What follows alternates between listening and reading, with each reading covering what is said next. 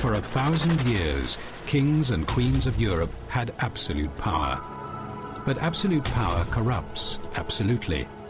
Greed, revenge, sex, madness, witchcraft, murder. Every monarch had their royal secrets.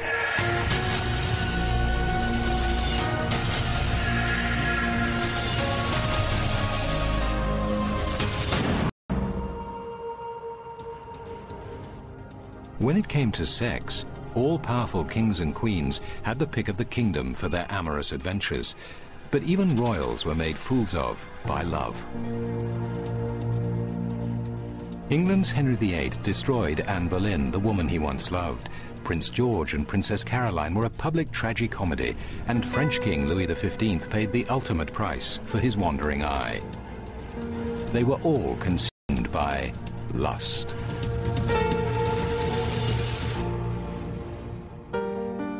Henry VIII's passionate pursuit of Anne Boleyn is one of the great romantic tragedies. In the end, history was changed and Anne paid the ultimate price for her love.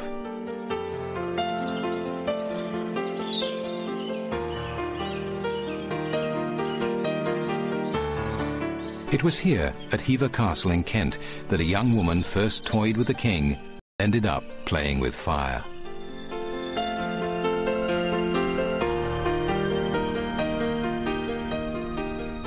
In the early 1500s, this perfectly preserved Tudor mansion was home to two little girls, Mary and Anne Boleyn, and their father Sir Thomas. Anne was the younger, a determined girl who would grow up to be an ambitious and clever young woman. Her less disciplined older sister Mary was uninhibited and out for a good time. Sir Thomas, whose grandfather went from humble beginnings to become a wealthy Lord Mayor of London, was a social climber who wanted to move his family even further up the social ladder. He was determined to see his children enter the royal court and rub shoulders with the most powerful people in the land.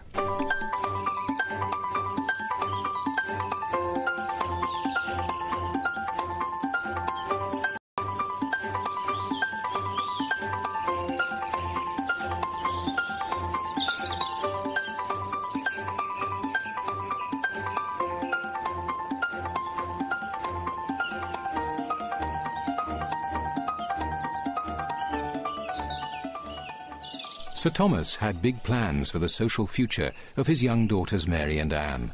His Anne was to fulfill his every dream and become Queen of England, but at a terrible price. Meanwhile, King Henry VIII was married to his first wife, Catherine of Aragon. Over the years, the Queen had eight children, but only one, a girl, survived.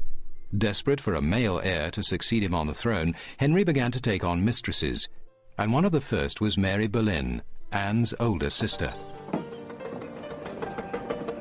The King of England often visited Mary at Hever Castle for his trysts.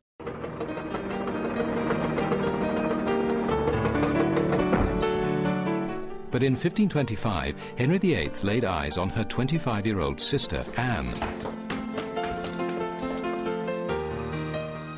The king was smitten from the start. He fell head over heels in love with Anne.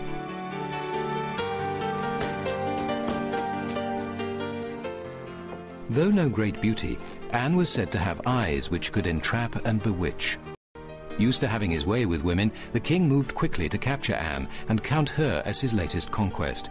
But Anne was no easy prey and played hard to get. The game of love was joined. To bring her closer to him, Henry appointed Anne maid of honor to Queen Catherine. Anne's calculated response was a provocative promise of delights to come. Love letters between Henry and Anne still exist and show the chase was not going to be easy. The warrant of maid of honour induces me to think that your majesty has some regard for me, since it gives me the means of seeing you oftener and of assuring you by my lips, which I shall do at the first opportunity, that I am your majesty's very obliged and obedient servant without any reserve. Henry was excited, unaware of how his long, extraordinary pursuit of Anne's favours would lead him to change his country forever. The more Anne withheld her favours, the more love-struck the king became. Conveniently forgetting he was still a married man, Henry promised he would at least be faithful to Anne. He wrote, I beseech you now, with all my heart, to let me know your whole intention as to the love between us two. For more than a year I have been struck with the dart of love and am not yet sure whether I shall fail or find a place in your heart and affection. If it pleases you to play the part of a true loyal mistress and friend, and to give yourself body and heart to me, I promise to take you for my only mistress, casting all others out of my thoughts and affection, and serving only you. In her response, Anne made it clear she was not settling for second best. Your wife I cannot be, both in respect of my unworthiness or not be. Headstrong and wise to the nature of men, Anne knew just what to do to arouse the king's passions. She refused to give herself to Henry, Though the king was raging with lust, she wouldn't allow Henry to touch her. No matter how much the most powerful man in England begged and beseeched, Anne resisted for six years. Her terms were simple no crown, no sex. Henry's hunger for Anne drove him to drastic measures. He sought a divorce from Catherine, but the Pope refused it. So Henry took a step which would alter the course of British history. In the most dramatic act of his reign, Henry removed his kingdom from the Pope's jurisdiction and put himself at the head of his own church, the Church of England.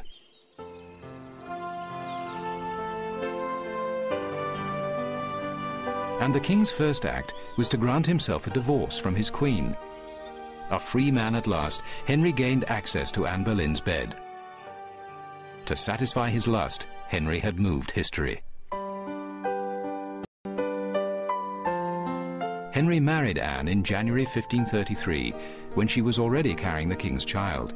The baby was born in September, but it was a girl named Elizabeth.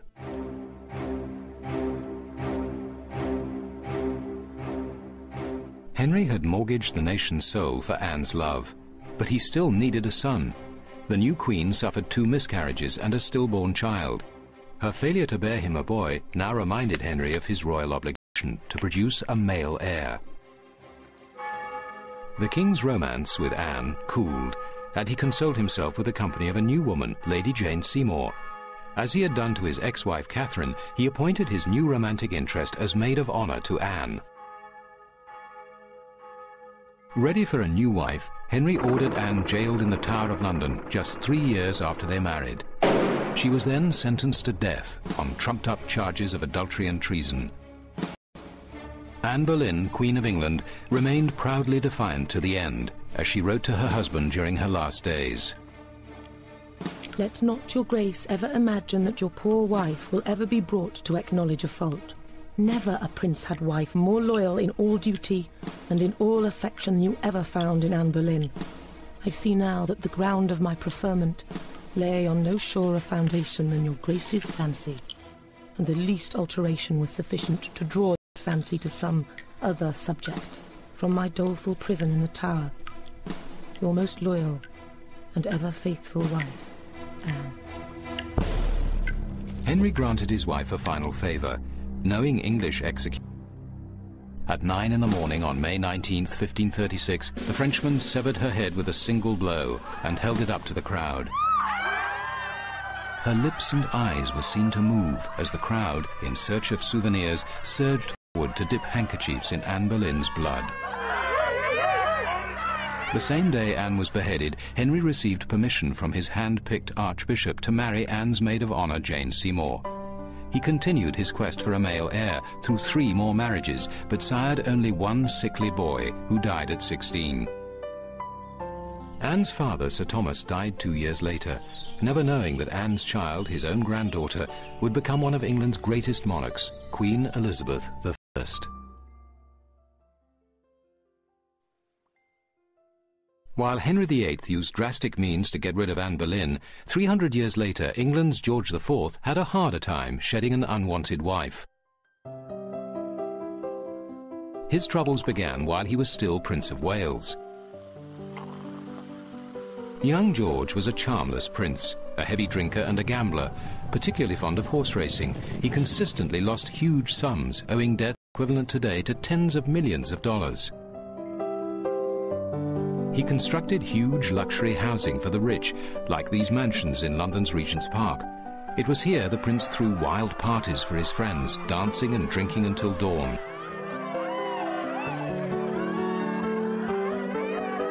George decorated the exteriors with sensual erotica, some reflecting his preference for older women. The English loathed George, his decadence and indifference to his subjects. His father, the mentally unstable King George III, tolerated his dissolute son until he finally went too far. In 1785, the king discovered his son and heir had secretly married a Mrs. Fitzherbert. Under the Constitution, British monarchs were forbidden to marry Catholics or divorcees, and Mrs. Fitzherbert was both. She could never become Queen of England. The king ordered them to separate. But his son would only comply if his gambling debts were cleared. The nation's treasury was forced to cover the prince's huge losses. His secret marriage was then annulled and an official marriage was arranged for the prince. His bride was Princess Caroline of Brunswick. Her portrait was sent to George and met with his approval, but court painters often depicted their subjects in flattering ways. George was in for a surprise. The day before the wedding, George nervously awaited his bride in eager anticipation. She was introduced as his future wife. Prince George was aghast. She was short, fat, smelly, and ruddy-faced. Though no paragon of beauty himself, the prince recoiled, muttering, Ah, I am not well. For heaven's sake, bring me a glass of brandy. George remained drunk throughout his wedding day and had to be propped up at the ceremony. Disconsolate, he wept throughout the entire service. On his wedding night, the inebriated George passed out in the fireplace instead of consummating the marriage. In the morning, he dragged himself to Caroline's bed and performed his royal duty for the first and last time. The fertile princess became pregnant after this solo encounter, but within weeks the couple had separated for good. George remarked to a friend, I'd rather see toads and vipers crawling over me dinner than sit at the same table with her. Cartoonists gleefully rushed to sketch the royal marital farce. George left his wife to return to Mrs. Fitzherbert and a string of matronly mistresses. Spurned by her husband, the vivacious and flamboyant Caroline enjoyed her freedom. She tried on makeup, ate large quantities of onions, and drank brandy. She invited friends to her house and many men into her bedroom. She considered sex a happy and healthy activity, describing herself as a little devil in petticoats. I have a bedfellow whenever I like. Nothing is more wholesome. Scandalized London society was filled with rumours of Princess Caroline's affairs. It was even said she had another child by a prominent noble, Sir Sidney Smith. But the guileless Princess Caroline didn't realise that Prince George, eager to prove her adultery for a divorce, was spying on her. One of her servants reported to the prince, Mary Wilson said to me how she went into Princess Caroline's bedroom in order to make up the fire. But that she found her and Sir Sidney in such an indecent situation that she immediately left the room and was so shocked that she fainted away at the door. The prince's evidence was hearsay, and a special commission found it unconvincing, but vicious court gossip forced Caroline to leave England for an extended tour of Europe. During her visit to Italy, the irrepressible Caroline rode through the streets of Milan in a pink feathered hat and a dress which showed off her ample posterior and stout legs. There, Caroline met her true love, a handsome but penniless Italian adventurer named Bartolomeo Pergami. They traveled together through Europe, making no attempt to disguise their intimacy. Six years later, Caroline learned that King George III had died, and her husband had... George offered her a king's ransom of more than $2 million a year to stay away, but Caroline refused to be bought off and went back to England. Desperate to get a divorce, George launched an official investigation into Caroline's love life. An English naval officer reported that Caroline switched cabins to be next to her lover. An Italian servant testified she made regular visits to her lover's bedroom and that he saw them kiss in public and bathe together in private. Caroline's cook claimed to have caught the couple on a sofa in the throes of love. But tenacious Caroline fought for her position as queen.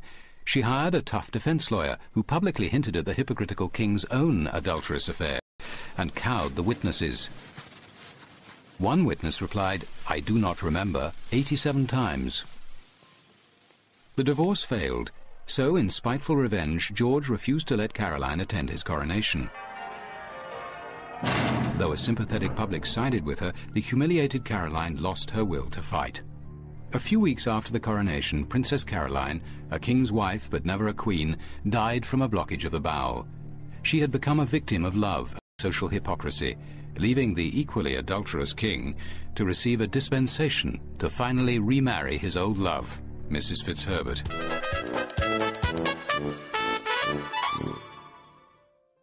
Unlike the public embarrassments of England's Prince George, scandal was no problem in the deliciously decadent French court of Louis XV. There, extramarital affairs were so common they were governed by codes of etiquette. Promiscuity was so widely accepted that the king's principal mistress held an official position in the royal household. Louis's grandfather, Sun King Louis XIV, left advice about a monarch's love life. The time we give to our lovers should never be to the detriment of our work, because our primary objective must be the preservation of our glory and authority. When you lose your heart, you must remain in full control of your senses. Keep the caresses of your separate from the responsibilities of kingship. The young king ignored his grandfather's instructions, and in the end he paid a terrible price for a life devoted to sexual debauchery. Louis XV, whose reign spanned much of the 1700s, was a sexually voracious monarch. He reputedly had over a hundred partners, included everyone from leading courtiers to the lowliest Parisian street girls.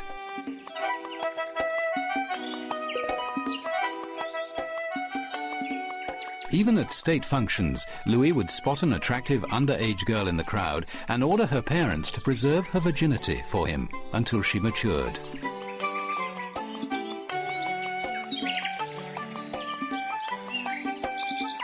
The king's insatiable appetite needed a full-time valet to audition and procure potential royal bedmates.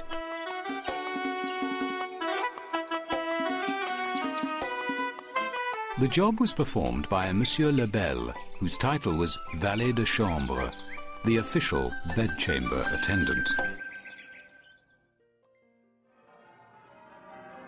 Louis was only 15 when he married a Polish princess. Initially faithful to his bride, he fathered a brood of 10 children in 12 years. But his wife tired of Louis's sexual demands and found any excuse to deny him her bed.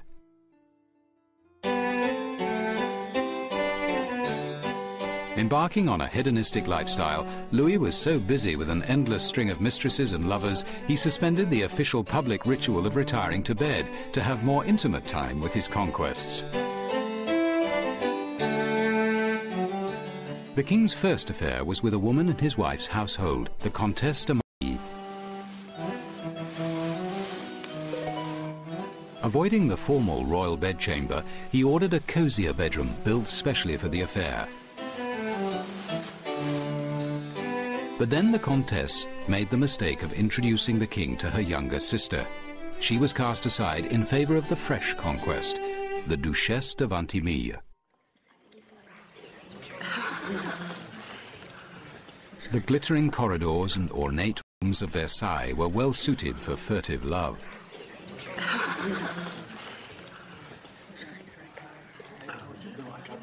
Louis's most famous affair was with a 24-year-old commoner named Jeanne Antoinette Poisson. The couple met at a costume ball, where she arrived dressed as Diana the Huntress.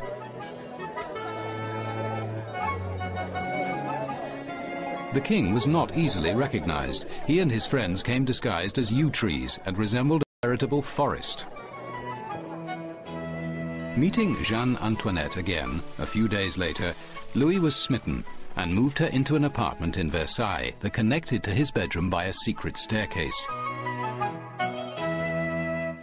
The King of France was so taken with her beauty, he transformed her from simple Jeanne Antoinette Poisson into the Marquise de Pompadour. Major role in formulating foreign affairs. The parade of official mistresses failed to satiate the king, who simultaneously bedded a string of prostitutes and one-night stands.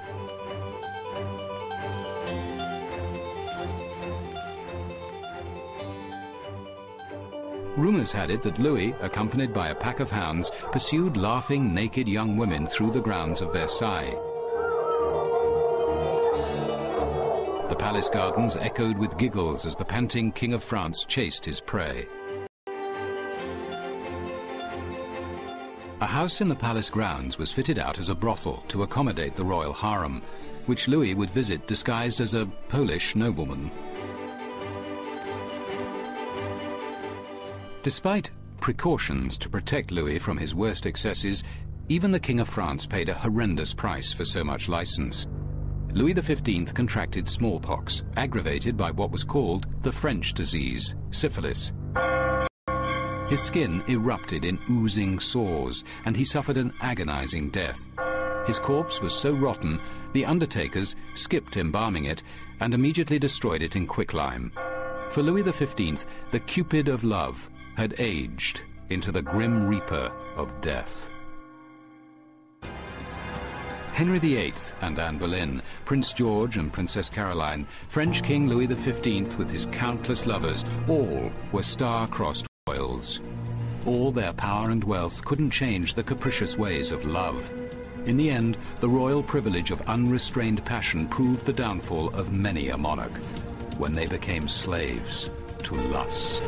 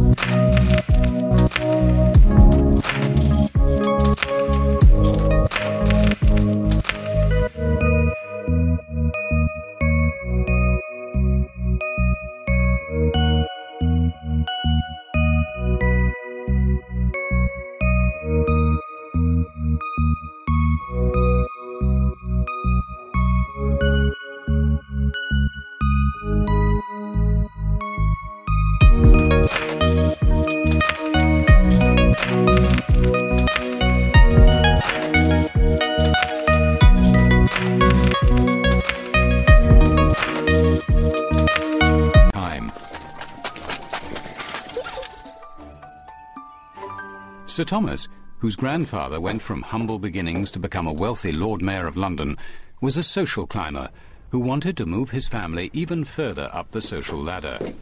He was determined to see his children enter the royal court and rub shoulders with the most powerful people in the land.